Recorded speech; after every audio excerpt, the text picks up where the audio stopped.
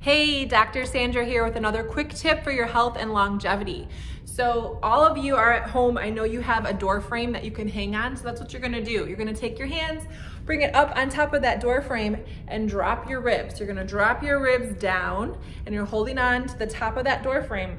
You're gonna try and hold for like 20 seconds, 10 seconds, 30 seconds, working up towards a minute. That's gonna really help with any kyphosis that you have or rounding. It's gonna help your shoulder pain if you have any of that. So work towards hanging. Give it a try.